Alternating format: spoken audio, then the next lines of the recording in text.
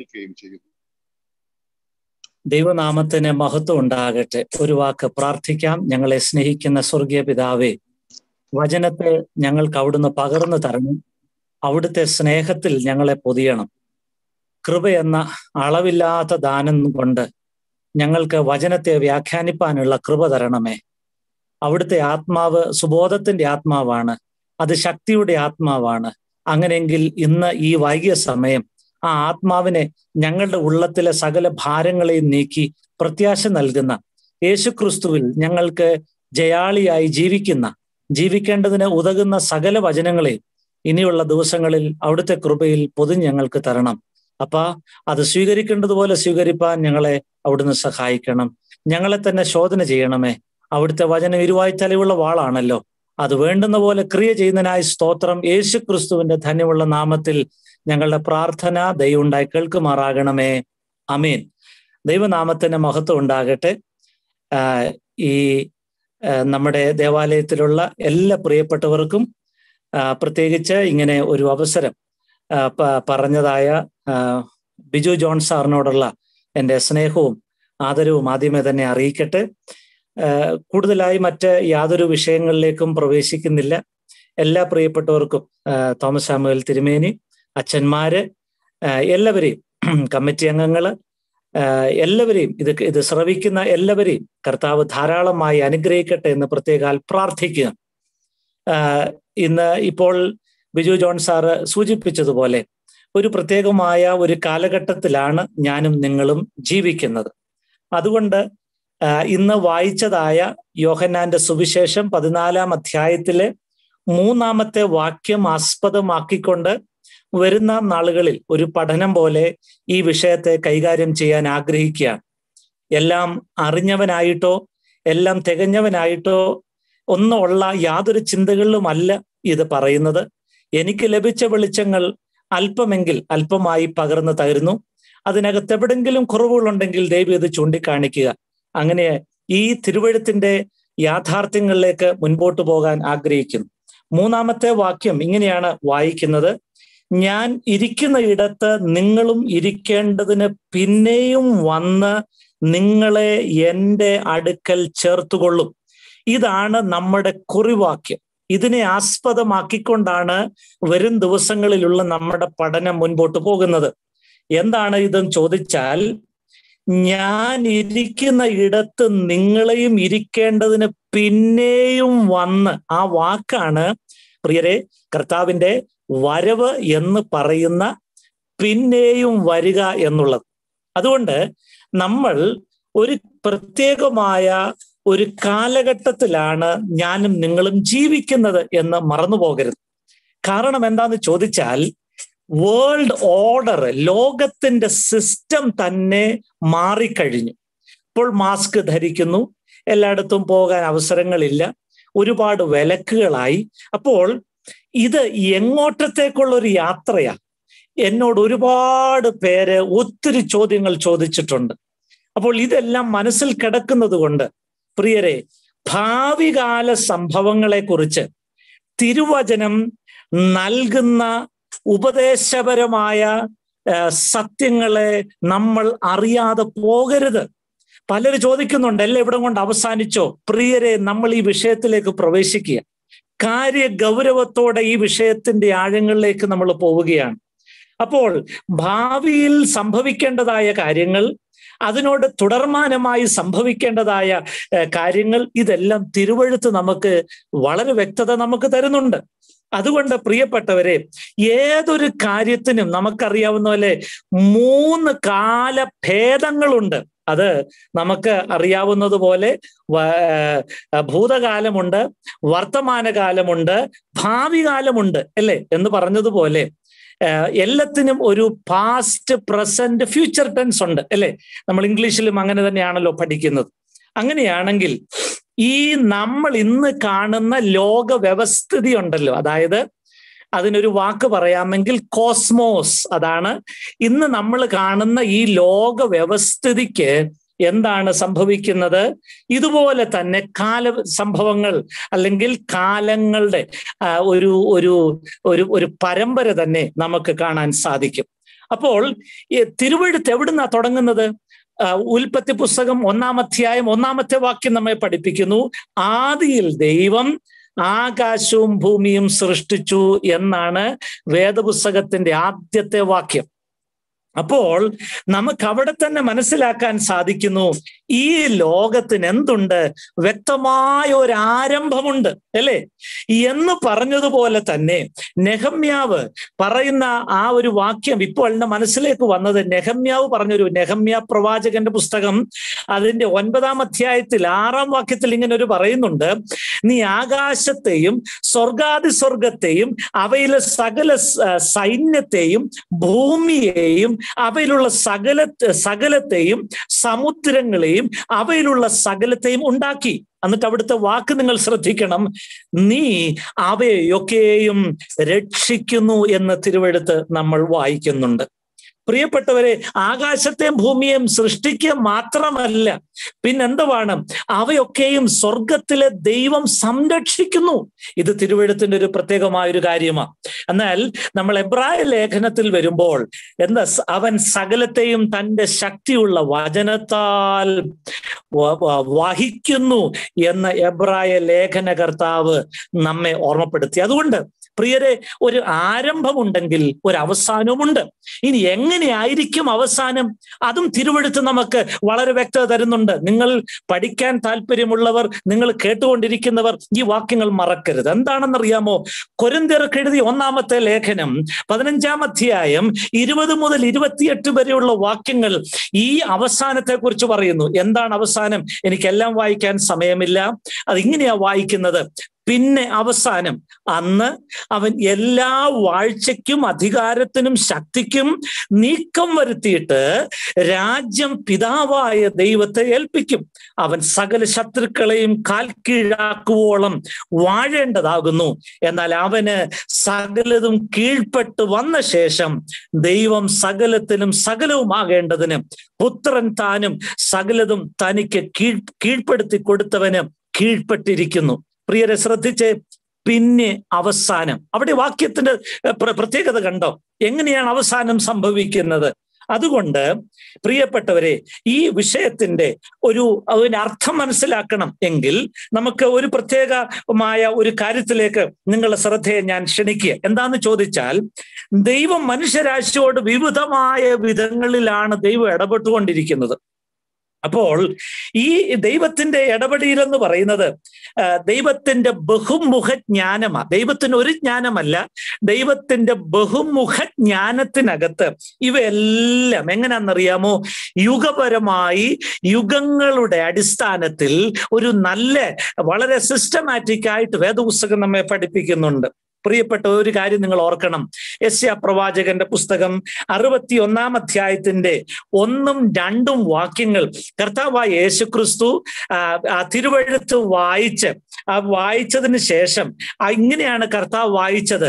ദരിദ്രന്മാരോട് സുവിശേഷം അറിയിപ്പാൻ കർത്താവിനെ അഭിഷേകം ചെയ്യുകയാൽ അവന്റെ ആത്മാവ് എന്റെ മേലുണ്ട്.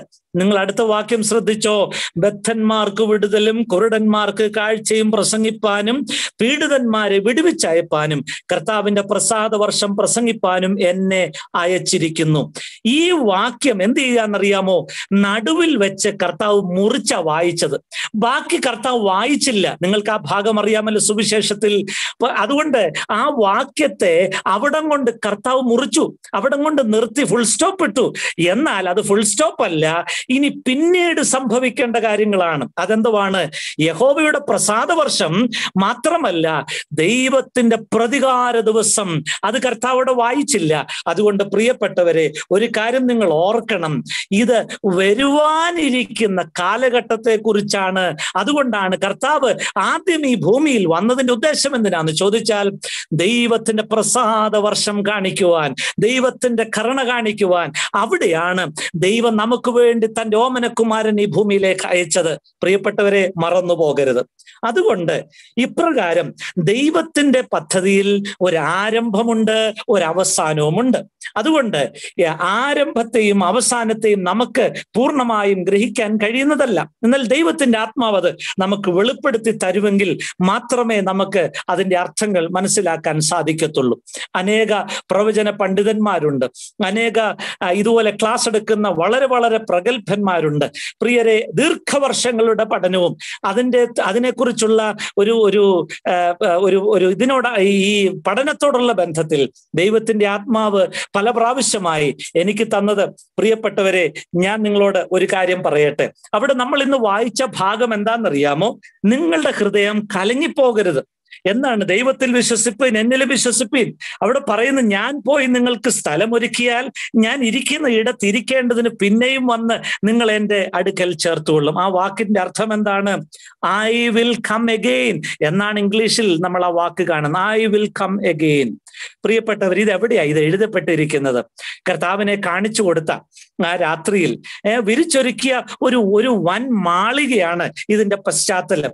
അവിടെ ഈ മൽക്കീസദേക്കിന്റെ ക്രമപ്രകാരമുള്ള ഒരു മഹാപുരോഹിതൻ അവിടുത്തെ മരണത്തെയും അവിടുത്തെ അവിടുത്തെ ഒരുവൻ പിശ പിശാചായി ഒറ്റിക്കൊടുക്കുവാൻ പോകുന്നതിനെയും മറ്റൊരുവൻ തള്ളിപ്പറയുകയും അവിടുത്തെ ഏകനായി വിട്ട് എല്ലാവരും ഓടിപ്പോകുകയും അത് അവിടെ കലങ്ങിയ ഹൃദയത്തോടു കൂടെ ഒരു കൂട്ടം ആളുകൾ അവിടെ നിൽക്കുമ്പോൾ കർത്താവ് പറഞ്ഞ വാക്കാണ് നിങ്ങളുടെ ഹൃദയം കലങ്ങിപ്പോകരുത്. അതുകൊണ്ട് ഇന്ന് ഇത് കേൾക്കുന്ന പ്രിയരെ കർത്താവിന്റെ വരവെന്ന് കേൾക്കുമ്പോൾ ആളുകൾക്ക് ഒരു ഭീതിയാണ് എന്നാൽ ഇത് ഭീതി ഉളവാക്കാനല്ല നിങ്ങളുടെ ഹൃദയം കലങ്ങിപ്പോകരുത് എന്ന് തിരുവെഴുത്ത് പറയുന്നു. അങ്ങനെയാണെങ്കിൽ പ്രിയപ്പെട്ടവരെ കർത്താവ് പറഞ്ഞ ഒരു കാര്യമുണ്ട് ഞാൻ വീണ്ടും വരും എന്നുള്ളത്. This is the promise of our Lord Jesus Christ കർത്താവ് യേശു ക്രിസ്തുവിന്റെ ഒരു വലിയ പ്രോമിസ് ആണ് അവിടുന്ന് വരും. അതുകൊണ്ട് നമുക്ക് വെളിപ്പാട് പുസ്തകത്തിലേക്കൊക്കെ നമ്മൾ പോകേണ്ടിയിരിക്കുന്ന ഒരുപാട് സംഭവങ്ങളുണ്ട്. എന്നാൽ ഇവിടെ ഞാൻ വീണ്ടും വരും എന്ന് പറയുമ്പോൾ നമ്മൾ എന്തുവാ ചെയ്യേണ്ടത് ഒരു ഒരു ദൈവ പൈതൽ അല്ലെങ്കിൽ സഭയായി നമ്മൾ എന്തുവാ ചെയ്യേണ്ടത് ഇങ്ങനെ ഉറങ്ങിയിരുന്നാൽ മതിയോ? അല്ലെങ്കിൽ ഇതുപോലെ നമ്മുടെ ജീവിതം എപ്പിക്യൂരിയൻസ് എന്ന് പറയുന്ന ഒരു കൂട്ടം ആളുകളുണ്ട്. മനമേ തിന്നുക കുടിക്കുക ആനന്ദിക്കുക. നാളെ എന്തായാലും ചാകും. അതുകൊണ്ട് തിന്നുക കുടിക്കുക ആനന്ദിക്കുന്നത് മാത്രമാണോ ജീവിതം? അല്ല. പ്രിയപ്പെട്ടവർ ഇത് നമ്മൾ ഓർക്കണം. ഇപ്പൊ കർത്താവ് നമ്മളോട് പറഞ്ഞത് ഞാൻ വരും. അങ്ങനെയാണെങ്കിൽ ഞാൻ വരുവോളം നാം എന്തെല്ലാം ചെയ്യണമെന്ന് ഞാൻ പറഞ്ഞ് ഈ വാക്യം ഈ ഇന്നത്തെ ഈ പഠനം ഞാൻ അവസാനിപ്പിക്കാൻ ആഗ്രഹിക്കുകയാണ്. ഒന്നാമത്തേത് ഞാൻ വരും എന്ന് പറയുമ്പോൾ കർത്താവ് നമ്മളോട് ഡേറ്റ് പറഞ്ഞിട്ടില്ല. ഞാൻ അതിനെയൊക്കെ പിന്നീട് വിശദീകരിക്കാം. എപ്പോൾ വരും എന്ന് കർത്താവ് പറഞ്ഞിട്ടില്ല. എന്നാൽ കർത്താവിന്റെ വരവിനെ കുറിച്ച് ശിഷ്യന്മാർ ചോദിച്ചപ്പോൾ ആദ്യം കർത്താവ് പറഞ്ഞത് ആരും നിങ്ങളെ തെറ്റിക്കാതിരിപ്പാൻ സൂക്ഷിക്കാനാ പറഞ്ഞത്. പ്രിയരെ സൂക്ഷിക്കണം. കാലഘട്ടത്തെ നിങ്ങൾ തിരിച്ചറിയണം. അതുകൊണ്ട് ആ ഭാഗത്ത് ഈ ഒലിവുമല പ്രഭാഷണം എന്ന് പറയുന്ന ആ ഭാഗത്ത് നമ്മൾ കാണുന്ന ഒരു പ്രത്യേകമായ ഒരു കാര്യമുണ്ട്. എന്താണെന്നറിയാമോ? ആ ഒലിവുമല പ്രഭാഷണത്തിൽ ഒടുവിൽ കർത്താവ് പറയുന്ന ഒരു കാര്യമുണ്ട്. നിനക്കാത്ത നാളിലും നാഴികയിലും മനുഷ്യപുത്രന്റെ വരവ് സംഭവിക്കും. അതുകൊണ്ട് നാം എന്ത് ചെയ്യണം? അവിടെ തന്നെ പറയുന്നുണ്ട്. ഒന്ന് ഒരുങ്ങിയിരിക്കുക. രണ്ട് വീട്ടുകാർക്ക് തക്ക സമയത്തിന് ഭക്ഷണം കൊടുക്കുന്ന ഒരു വിശ്വസ്തനായ ഒരു ദാസനായിരിക്കുക. മൂന്ന് ബുദ്ധിമാനായിരിക്കുക. നാല് ഉണർന്നിരിക്കുക. ഇങ്ങനെ പല ഭാഗങ്ങൾ നമുക്ക് അവിടെ കാണാനായിട്ട് നമുക്ക് സാധിക്കും. പ്രിയപ്പെട്ടവർ എന്നാൽ ഒരു വലിയ ഉത്തരവാദിത്വവും കർത്താവ് തരുന്നുണ്ട്. എന്നാന്നറിയാമോ? മത്തായുടെ സുവിശേഷം ഇരുപത്തിനാലാം അധ്യായം നാൽപ്പത്തിയെട്ടും നാൽപ്പത്തി ഒമ്പതും അൻപതും വാക്യങ്ങൾ നമ്മൾ കാണുന്നത്. യജമാനൻ വരാൻ താമസിക്കുന്നുവെന്ന് ഹൃദയം കൊണ്ട് പറഞ്ഞ് കൂട്ടുദാസന്മാരെ അടിക്കാനും കുടിയന്മാരോട് തിന്ന് കുടിക്കുവാനും തുടങ്ങിയാൽ യജമാനൻ വന്ന് അവനെ ദണ്ണിപ്പിച്ച് കപടഭക്തിക്കാരോട് കൂടെ ഏൽപ്പിക്കുമെന്ന് തിരുവെടുത്ത് നമ്മെ പഠിപ്പിക്കുന്നു. അങ്ങനെയാണെങ്കിൽ ഞാൻ വരുവോളം നിങ്ങൾ എന്തെല്ലാം ചെയ്യണം? വേഗം പറയാം നാലേ നാല് കൂട്ടം കാര്യങ്ങൾ. ഒന്ന് കർത്താവിന്റെ വരവ് വരെയും ഞാനും നിങ്ങളും ചെയ്യേണ്ടിയ ഒന്നാമത്തെ കാര്യം കർത്താവ് വരുവോളം വ്യാപാരം ചെയ്തു കൊള്ളുക ഒന്ന് വ്യാപാരം ചെയ്തു കൊള്ളുക. ഇത് ഒരു ബിസിനസ് ടെർമിനോളജി ഇവിടെ നമ്മൾ കാണുന്നത്. അതായത് ലാഭനഷ്ടം എന്നുള്ള ആ ഒരു അതിനെ ഒരു വ്യാപാരത്തോട. ക്രിസ്തീയ ജീവിതം എന്ന് പറയുന്നത് എന്താണ്? അത് കൊടുക്കണം വാങ്ങണം. പ്രിയപ്പെട്ടവരെ നമ്മളല്ല എന്നാന്നറിയാമോ? സ്വയം ഇരുന്ന് വീർക്കുന്നവരാ. അതായത് നമുക്കുള്ളത് എനിക്ക് മാത്രം. പണ്ടൊരാൾ പറഞ്ഞതുപോലെ ഒരു കുഞ്ഞ് പ്രാർത്ഥിച്ചത് ഇങ്ങനെയാ. കർത്താവെ എന്നെയും എന്റെ അപ്പായി എന്റെ അമ്മ എന്റെ വീട്ടിലെ പട്ടിയെ മാത്രമേ അനുഗ്രഹിക്കാവൂ. എന്നതാണ് നമ്മുടെ ഒരു മനോഭാവം. പക്ഷേ ക്രിസ്തീയ ജീവിതം എന്ന് പറയുന്നത് ഞാൻ വരുവോളം വ്യാപാരം ചെയ്തുകൊണ്ടിരിക്കുക. പ്രിയപ്പെട്ടവരെ ഇവിടെ നമ്മൾ ഓർക്കണം ഇതൊരു ലാഭനഷ്ട കേസ് ഒരു ഒരു ഒരു വിഷയത്തെക്കുറിച്ചാണ് ഇവിടെ പറയുന്നത്. ആർക്ക് ലാഭമാ? എനിക്കല്ല അല്ല നമുക്കല്ല. സ്വർഗത്തിന് ലാഭമായ വിധത്തിൽ ദൈവത്തിന് ലാഭമായ വിധത്തിൽ അതാണ് ഇവിടെ കാണുന്നത്. അപ്പസ്തോലായ ജീവിത പൗലോസ് അപ്പോസ്തോലന്റെ വാക്കുകൾ മുമ്പേ പ്രാർത്ഥിച്ചപ്പോൾ പറഞ്ഞത് എന്തുവാ എനിക്ക് മരിക്കുന്നത് എന്താണ്? അപ്പസ്തോലൻ പറഞ്ഞ വാക്കെന്ന് മരിക്കുന്നത് ലാഭമാ. അതുകൊണ്ട് മരണം പോലും എന്തുവാ പ്രിയരെ? ലാഭമാന്ന് ഓർത്തോണം. അതുകൊണ്ട് അത് നഷ്ടമല്ല. എനിക്ക് ജീവിക്കുകയാണെങ്കിൽ ക്രിസ്തു വേണം. മരിക്കുന്നത് എനിക്ക് ലാഭമാണ്. കണ്ടോ? അതുകൊണ്ട് ഇവിടെ പറഞ്ഞിരിക്കുന്ന ആ ഒരു കാര്യം ഒന്നാമത്തേത് ഞാൻ വരുവോളം വ്യാപാരം അതിന്റെ റെഫറൻസ് എന്താന്ന് ചോദിച്ചാൽ ലൂക്കോസിന്റെ സുവിശേഷം പത്തൊൻപതാം അധ്യായം അതിന്റെ പതിമൂന്നാമത്തെ വാക്യം. ലൂക്കോസ് പത്തൊൻപതിന്റെ പതിമൂന്നാമത്തെ വാക്യം. ഞാൻ വരുവോളം വ്യാപാരം ചെയ്തു കൊള്ളുക ഒന്നാമത്തെ വിഷയമാണ്. പ്രിയപ്പെട്ടവരെ എന്താണ് ഈ ഉപമ നമ്മെ പഠിപ്പിക്കുന്നത്? വ്യാപാരം ചെയ്തു കൊള്ളുക അതായത് പത്ത് റാത്തൽ വെള്ളി പത്ത് പേർക്ക് വീതിച്ചു കൊടുത്തു. നമുക്ക് ആ ഭാഗം നന്നായിട്ട് അറിയാം. എന്നിട്ട് എന്ത് ചെയ്തു? ദൂരദേശത്തേക്ക് യജമാനൻ പോയി. അതുകൊണ്ട് പ്രിയപ്പെട്ടവരെ എന്നാൽ രാജത്വം പ്രാപിച്ച് മടങ്ങി വന്നപ്പോൾ ഈ പത്ത് പേരെയും വിളിച്ചിട്ട് എന്താ ചെയ്യുന്നത്? അത് കണക്ക് ചോദിക്കുക. നമുക്ക് ആ ഭാഗം അറിയാം. ഞാൻ വിവരിക്കേണ്ട കാര്യമില്ലല്ലോ. നമ്മൾ അവിടെ കാണുന്നത് എന്താണ്? പത്ത് റാത്തൽ ഒരു ഒരുവൻ പത്ത് റാത്തൽ സമ്പാദിച്ചു. അല്ലേ? നമ്മൾ അവൻ എന്ത് ചെയ്തു? പത്ത് പട്ടണങ്ങൾക്ക് അധിപതിയാക്കി നമ്മൾ അങ്ങനെ ഓരോ കണക്ക് നമുക്കറിയാം ഞാൻ വിശദീകരിക്കേണ്ട കാര്യമില്ല. ഈ ഉപമ നമ്മെ എന്താ പഠിപ്പിക്കുന്ന പ്രിയപ്പെട്ടവര്? എന്നാൽ ഒരു വ്യക്തിയുണ്ട് എന്ത് ചെയ്തു? അതിനെ ആ ഒരു റൂമാൽ കെട്ടി അതിനെ എന്ത് ചെയ്തു? ആ സൂക്ഷിച്ചു വെച്ചു. പ്രിയപ്പെട്ടവര് നമ്മെ ഓർമ്മപ്പെടുത്തുന്ന ഞാൻ വരുമ്പോളും വ്യാപാരം ചെയ്തു കൊള്ളുക എന്ന് പറയുമ്പോൾ ഓർക്കുക കർത്താവ് ദൂരദേശത്തേക്ക് നമ്മെ വിട്ട് പോയി. അവിടുന്ന് പറഞ്ഞൊരു വാക്കുണ്ട് അവിടുന്ന് രാജ്യത്വം പ്രാപിച്ച് വീണ്ടും മടങ്ങി വരും. വീണ്ടും മടങ്ങി വരുമ്പോൾ പ്രിയപ്പെട്ടവരെ നമ്മളോട് ഏൽപ്പിച്ചതായ കണക്ക് കർത്താവ് ചോദിക്കും. ഈ കണക്കിന് നമ്മൾ ഈ കണക്ക് ബോധിപ്പിക്കേണ്ടിയവരാണെന്നുള്ള പൂർണ ബോധ്യത്തോടുകൂടെ നമ്മുടെ ജീവിതം മുൻപോട്ട് നമ്മൾ നയിക്കണം. അതാണ് താൻ ഞാൻ വരുവോളം വ്യാപാരം ചെയ്തു കൊള്ളുക രണ്ടാമത്തേത് പറഞ്ഞ് അമീൻ പറയട്ടെ എന്താണെന്നറിയാമോ? വെളിപ്പാട് പുസ്തകം അത് രണ്ടാം അധ്യായം ഇരുപത്തി അഞ്ചാമത്തെ വാക്യത്തിലാണ് അതിന്റെ അർത്ഥം കിടക്കുന്നത്. രണ്ടാം അധ്യായം അതിന്റെ ഇരുപത്തി അഞ്ചാമത്തെ വാക്യം. രണ്ടാം അധ്യായം വെളിപ്പാട് പുസ്തകം രണ്ടാം അധ്യായം അതിന്റെ ഇരുപത്തി അഞ്ചാമത്തെ വാക്യം. എങ്കിലും നിങ്ങൾക്കുള്ളത് ഞാൻ വരും വരെയും പിടിച്ചുകൊള്ളുക രണ്ടാമത്തെ വിഷയം എന്താന്ന് ചോദിച്ചാൽ നിങ്ങൾക്ക് അതായത് നിനക്കുള്ളത് ഞാൻ വരുന്നിടം വരെയും പിടിച്ചുകൊള്ളണം എന്താണെന്നറിയാമോ പ്രിയരെ? ഇത് ആരോടാ പറയുന്നത്? തുയത്തൈര സഭയോട് പറയുന്ന ഒരു പ്രത്യേകമായ ദൂതാണിത്. അതായത് ഈ സഭയുടെ ഒരു പ്രത്യേകതയുണ്ട്. അവർ എന്ത് ചെയ്തെന്നറിയാമോ? ഇസബേലിന്റെ പുറകെ പോയി അവർ ആത്മീകമായി അന്ധരായ ഒരു സഭയാണിത്. എന്നാൽ പ്രിയപ്പെട്ടവരെ ഇവിടെ പറയുന്ന കാര്യം എന്താ മുന്നറിയിപ്പുകളും ശാസനകളും പ്രോത്സാഹനങ്ങളും കർത്താവ് ഈ ദൂതിലൂടെ ഈ സഭയോട് പറയുകയാണ്. പ്രിയപ്പെട്ടവരെ അതുകൊണ്ട് ഈ ഇസബേലിനെ പ്രവാചകിയാക്കി അവൾക്ക് വന്ദനം ചൊല്ലുന്ന ഒരു സഭയെക്കുറിച്ചാണ് അവിടെ പറഞ്ഞത്. ഞാൻ എന്റെ ചരിത്രം പറയുന്നില്ല. പ്രിയപ്പെട്ടവരെ എന്നാൽ ഈ ഉപദേശം അതായത് ഇസബേലിന്റെ ഉപദേശം കൈക്കൊള്ളാത്ത ഒരു പറ്റം ഒരു ശേഷിപ്പ് അവിടെയുണ്ട്. ഇവർ സാത്താന്റെ ആഴങ്ങളെ അറിയാത്തവരാണ്. കർത്താവ് അവരോട് പറയുന്നത് എന്താണ്? ഞാൻ വരുവോളം നിങ്ങൾ ഇത് പിടിച്ചുകൊള്ളുക. ഇവർക്ക് ലഭ്യമാകുന്ന പ്രതിഫലം എന്താന്ന് ചോദിച്ചാൽ ജാതികളുടെ മേൽ അധികാരം പവർ ഓവർ ദ നേഷൻസ് രണ്ട് ഇരുമ്പ് കോൽ കൊണ്ട് അവർ മേയ്ക്കും. അവർക്ക് ഉദയ നക്ഷത്രം കിട്ടും. പ്രിയപ്പെട്ടവർ ഇസബേലിന്റെ ഈ ഉപദേശം വിട്ട് മാനസാന്തരപ്പെട്ട് ജീവിതത്തിലും ഉപദേശത്തിലും കർത്താവിനെ പ്രസാദിപ്പിക്കുന്നവർക്കാണ് ഈ പ്രതിഫലങ്ങൾ ഉണ്ടാകുന്നത്. പ്രിയരെ ഞാനും നിങ്ങളും ആരെ പ്രസാദിപ്പിക്കുന്നവരാ? മറ്റേതെങ്കിലും വിധത്തിൽ മറ്റുള്ളവരെ പ്രസാദിപ്പിക്കുന്നവരാണോ? അല്ല. പ്രിയപ്പെട്ടവർ രണ്ടാമത് പറയുന്നത് നിനക്കുള്ളത് ഞാൻ വരും വരെ നീ പിടിച്ചുകൊള്ളുക. ഹാലേ ലുയ്യ ദൈവത്തിന്റെ വചനം എത്ര വ്യക്തമാണ്. കർത്താവിന്റെ വരവ് നമ്മൾ പഠിക്കുമ്പോൾ പ്രിയപ്പെട്ടവരെ നമുക്ക് ചില മുന്നറിയിപ്പുകൾ തരികയാണ്. ഒന്നാമത് ഞാൻ പറഞ്ഞു ഞാൻ വരുവോളം വ്യാപാരം ചെയ്തു കൊള്ളുക രണ്ട് നിനക്കുള്ളത് ഞാൻ വരും വരെയും പിടിച്ചുകൊള്ളുക. പ്രിയപ്പെട്ടവരെ നമുക്ക് ചില ഉപദേശങ്ങൾ കർത്താവ് തന്നിട്ടുണ്ട്. അത് മുറുകെ പിടിക്കേണ്ടത് നമ്മുടെ ആവശ്യമാണ്. മൂന്നാമത്തേത് ഞാൻ ഇങ്ങനെ പറയട്ടെ കർത്താവ് വരുവോളം അവിടുത്തെ മരണത്തെ പ്രസ്താവിക്കുന്നു. ഏതാണ് അതിന് അതിന്റെ റെഫറൻസ് വാക്യം ഏതാന്ന് ചോദിച്ചാൽ ഒന്ന് കുരുന്തിയർ പതിനൊന്നാം അധ്യായം ഇരുപത്തി ആറാമത്തെ വാക്യമാണ്. ഒന്ന് കുരുന്തിയർ പതിനൊന്നാം അധ്യായം ഇരുപത്തി ആറാമത്തെ വാക്യം. കർത്താവ് വരുവോളം അവിടുത്തെ മരണത്തെ ഞാനും നിങ്ങളും പ്രസ്താവിക്കണം. എന്താണ് നമ്മെ അത് ഓർമ്മപ്പെടുത്തുന്നത്? കർത്താവിനെ കാണിച്ചു കൊടുത്ത ആ രാത്രിയിൽ എന്താണ്? അത് സംഭവിച്ചു. ഓർമ്മയ്ക്കായി സ്ഥാപിച്ച എന്തുവാണ്? കർത്തൃമേശ. നമുക്കത് ആ ഭാഗം അറിയാം.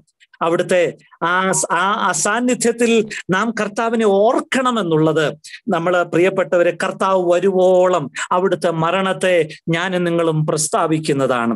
പ്രിയപ്പെട്ടവർ ഒരു സഭയായി നമ്മൾ ഒരുമിച്ച് നമ്മൾ ഈ ഈ ഭാഗം ചിന്തിക്കുമ്പോൾ കർത്താവിനെ നമ്മൾ എപ്പോഴും ഓർക്കണം. എന്താണ്? അവിടുത്തെ വരുവരെയും അവിടുത്തെ ഐ മീൻ ആ നമുക്ക് വേണ്ടി തന്നതായ തിരുവഴുത്ത് പറയുന്ന കാര്യം എന്നാ? നാം അവിടുന്ന് നാം കർത്താവിനെ ഓർക്കണമെന്ന് പറയാൻ കാരണം എന്നാന്നറിയാമോ സങ്കീർത്തനക്കാരൻ നമ്മെ ഓർമ്മപ്പെടുത്തുന്ന ഒരു കാര്യമുണ്ട്. നമ്മുടെ താഴ്ചയിൽ നമ്മെ ഓർത്തവനെ അവന്റെ ദയ എന്നേക്കുമുള്ളത്. അതുകൊണ്ട് നമ്മെ ഓർത്ത കർത്താവിനെ നാം ഓർക്കേണ്ടത് അവിടുത്തെ വരവുവരെയും നമ്മളുടെ ഒരു വലിയ ദൗത്യമാണ് നമ്മുടെ ഉത്തരവാദിത്വമാണ്. അതെങ്ങനെയാണ്? അതുകൊണ്ട് പ്രിയപ്പെട്ടവരെ നാം ഓർക്കേണ്ടത് പാനപാത്രവാഹകരുടെ പ്രമാണി യോസഫിനെ ഓർക്കാതെ അവനെ മറന്നു കളഞ്ഞു അതേ പ്രിയരെ കണ്ടോ? ഒരു സ്വപ്നം വ്യാഖ്യാനിച്ചു കൊടുത്തവനെ മറന്നതായ ഒരു ലോകമാണ് നമ്മൾ ഇവിടെ കാണുന്നത്. എങ്കിലും പ്രിയപ്പെട്ടവരെ എങ്കിലും ആ സാധു മനുഷ്യനെ ആരും ഓർത്തില്ല നമ്മൾ തിരുവെടുത്ത് വായിക്കുന്നത്. അങ്ങനെയാണ്. അങ്ങനെയാണെങ്കിൽ കർത്താവിന്റെ വചനം നമ്മെ ഓർമ്മപ്പെടുത്തുന്നു. കർത്താവിന്റെ വരുവരെയും ഞാനും നിങ്ങളും അവിടുത്തെ മരണത്തെ പ്രസ്താവിക്കുന്നവർ ആയിരിക്കണം. ഇതൊക്കെ ഒത്തിരി വിശദീകരിക്കേണ്ട ഭാഗങ്ങളാണ്. എന്നാൽ ഞാൻ എന്റെ വാക്കുകൾ നിർത്തട്ടെ. യജമാനൻ താമസിക്കുന്നു എന്ന് വിചാരിച്ച് ദൈവിക പ്രമാണങ്ങളെ ഞാൻ നിങ്ങൾ ഒരിക്കലും അവഗണിക്കരുത്. ഞാൻ ഈ മൂന്നേ മൂന്ന് കാര്യങ്ങൾ മാത്രമാണ് പറഞ്ഞത്. അതുകൊണ്ട് കർത്താവ് പറഞ്ഞു ഞാൻ വരും. അതുകൊണ്ട് നമുക്ക് വരും ദിവസങ്ങളിൽ നമ്മൾ പഠിക്കുമ്പോൾ ഈ ഒരു വലിയ ദൗത്യം നമ്മുടെ മുമ്പിൽ ഉണ്ടായിരിക്കട്ടെ. അവിടുത്തെ വരുവരെയും നമുക്ക് വ്യാപാരം ചെയ്യാം. അവിടുത്തെ വരുവരെയും നമ്മുടെ പക്കൽ ഏൽപ്പിച്ച് നമുക്ക് മുറുകെ പിടിക്കാം. അവിടുന്ന് വരുവരെയും അവിടുത്തെ മരണത്തെ നമുക്ക് പ്രസാ അവിടെ മരണത്തെ നമുക്ക് പ്രസ്താവിക്കാം ഈ വചനങ്ങളാൽ ദൈവം നമ്മെ എല്ലാവരെയും സഹായിക്കുമാറാകട്ടെ. ആമീൻ. വചന ശുശ്രൂഷ നിർവഹിച്ച